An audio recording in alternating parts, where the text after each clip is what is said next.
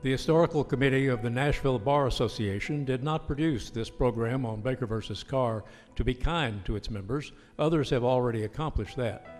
The legacy of one man, one vote, one person, one vote is well documented, and many of the key players in that constitutional drama are still alive and able to articulate the soaring principles that guided them to the United States Supreme Court 50 years ago. In this historic anniversary year, we felt it would be important for the next generation of lawyers and the generations who will follow them to be aware of this proud and defining moment in their history. Therefore, with the help of many loyal NBA members, we present the true story of how a cadre of young lawyers changed the political landscape of Tennessee and the nation by standing on principle and having no fear of the entrenched political powers of their day. It is a story filled with poignant moments and capped by a legal triumph as yet unmatched in Nashville bar history. We hope you enjoy it.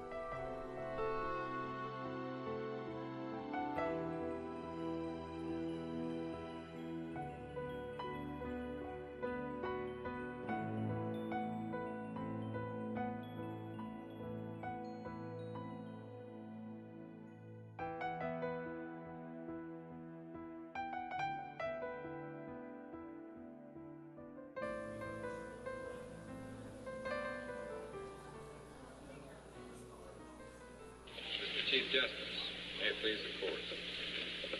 The Attorney General of Tennessee envisions a situation in which the state legislature and the United States District Court eye each other and uh, say who will make the first move. Uh, much of uh, a considerable part of the argument that the court has so patiently heard has been of that uh, of that type. That is, these conjectural or speculative matters.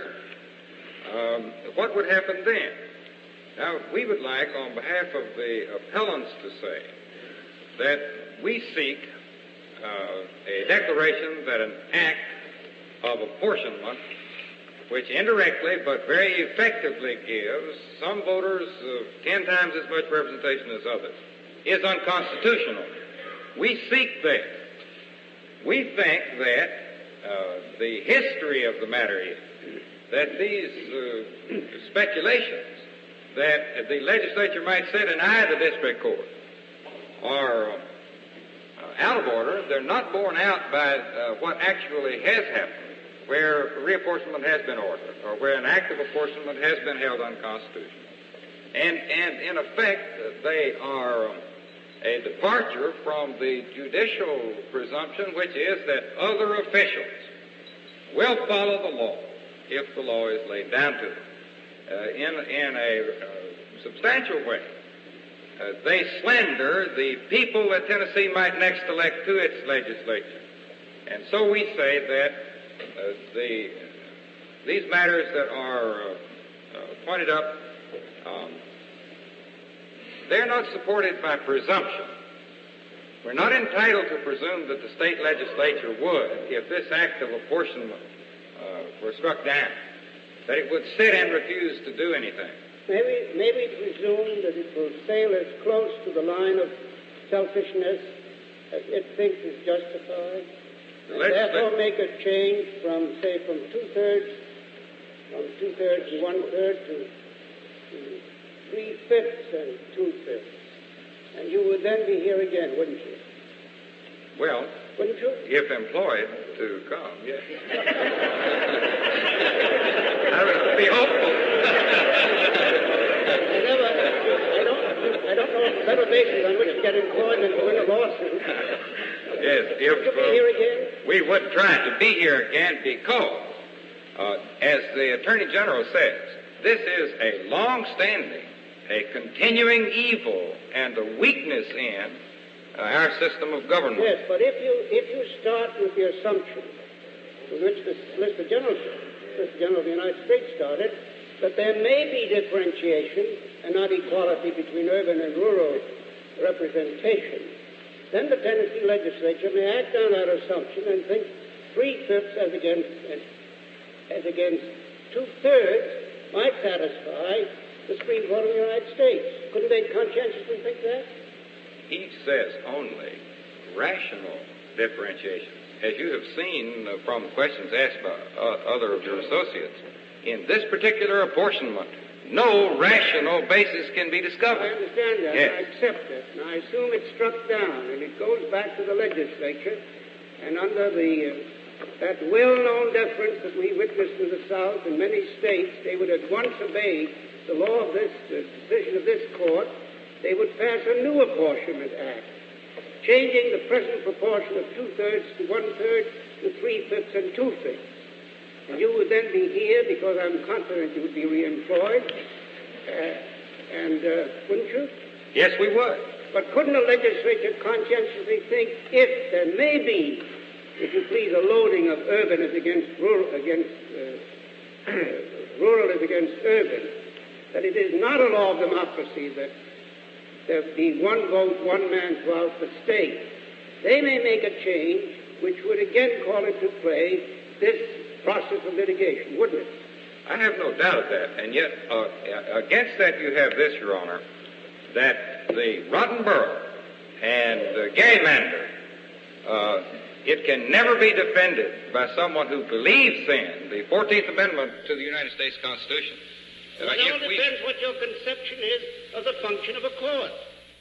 What you just heard was a Nashville lawyer arguing and winning the landmark case of Baker versus Carr in the United States Supreme Court. I will add, he did it in eight minutes of the total allotted time. Baker versus Carr is Nashville Bar's finest hour. It's our proud legacy. It's the story that will be told here today to celebrate the 50th anniversary of that decision. A citizen's most valuable right in a representative democracy is the right to vote. And of course, we've had a display of that this week. But that right is undermined if some votes count more than other votes because of apportionment. The Supreme Court had ruled in 1946 that legislative apportionment was a political thicket, a political thicket beyond the jurisdiction of any court. All that changed with Baker versus Carr. All that changed because of Nashville lawyers. When the Supreme Court ruled in 1962 that courts could decide apportionment cases and thereby laid the foundation of what we call one person, one vote. It happened because of great lawyers from the Nashville Bar that you'll hear about and indeed see many of them here today.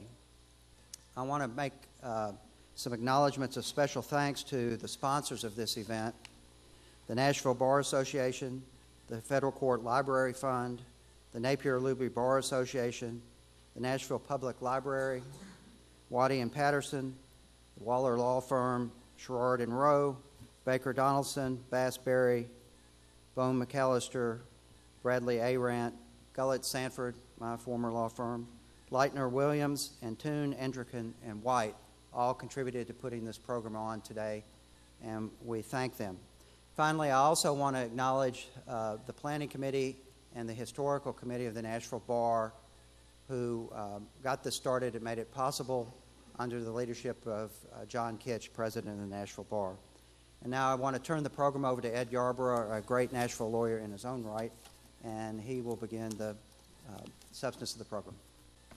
Let me say, uh, by the way, that, that today's program will be perhaps a little different from uh, CLE programs that you've attended in the past. We not only have uh, a tremendous array of star lawyers as panelists, but we also have several of them captured on video. And throughout the presentation today, we'll be using the video to show you and the panelists so that they can react to some of the comments that these lawyers who actually participated in the case can, uh, can tell you uh, some stories, and I can guarantee you some of the stories are quite interesting and give you an idea of what it was like to be involved in Baker versus Carr from a personal standpoint. In 1955, seven years before Baker versus Carr would be decided by the U.S. Supreme Court, a 28 year old rookie legislator named Maclin Davis read the Tennessee Constitution and decided to file a bill requiring the state to apportion its General Assembly according to the 1950 census, and somehow that had not been done since 1901. Davis soon learned the difference between constitutional law and raw power. Democrat bosses in the House of Representatives ordered him to withdraw his bill. It turns out they were happy with the imbalance between rural and urban districts, and they had no intention of letting this young Nashville lawyer upset the apple cart. But Davis held firm. He said he had taken an oath of office to uphold the Constitution, and he planned to honor it. The result his bill was defeated on second reading rather than on third reading, the usual time for a full vote, and no member of the Memphis delegation supported his bill, even though Big Shelby County would have benefited the most from reapportionment. To their credit, young lawmakers Ward DeWitt, Douglas Henry, and other members of the Davidson County delegation sided with Maclin Davis to the dismay of party leaders. This experience led Davis not to run again for the legislature, but rather support a movement to seek justice through the court system, which he was sure, where he would sure the law would be followed. Another lesson in political reality awaited him in the state courts.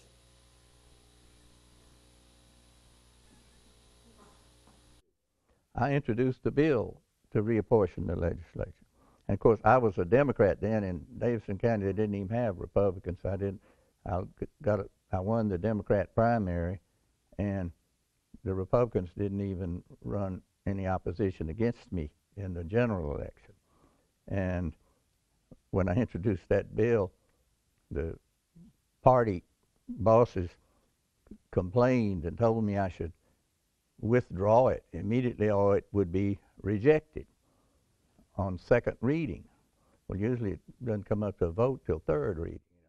I said, no, I took an oath to support the Constitution, which requires what my bill says, because the legislature hadn't been reapportioned in in uh, something years, and it's supposed to be done every ten years.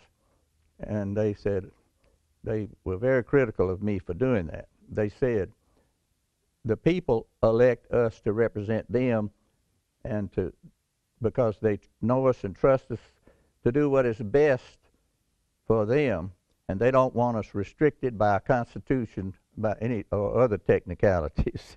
And because uh, i thought they were wrong. It hadn't been done in some 50 years and uh, anybody that voted against doing it and didn't introduce an apportionment bill himself was violating his oath to support the constitution. And uh, the other five members of the Davidson County delegation agreed with me in, the House. And they all voted on my side not to reject the bill. But the Democrat Party bosses got the others to vote to reject it. And there were eight members from of the House from Shelby County, which would have benefited the most by the reapportionment. And all eight of those voted to reject the bill to reapportion the legislature, and uh, it was rumored that they were uh, had to do what the Crump machine told them to do.